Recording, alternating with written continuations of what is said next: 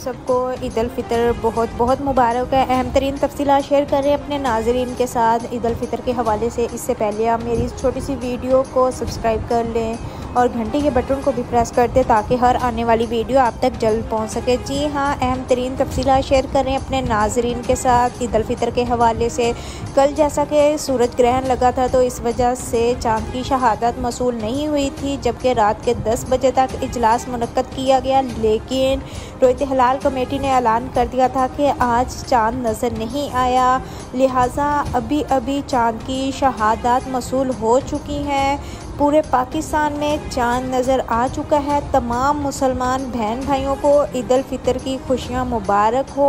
अहम तरीन तफसीत शेयर कर आपके साथ कि रोहित हिलाल कमेटी के अजलास ने ऐलान कर दिया है कि तमाम मुसलमान ईद फितर मना सकते हैं। ईद फितर जुम्मे को नहीं, बल्कि हफ़्ते को होगी, जो कि सुबह को होगी, बाईस अप्रैल को। तो तमाम अंदाजे सही हुए इस बार भी कि पाकिस्तान में ईद तीस रोज़े होने के बाद मनाई जाएगी।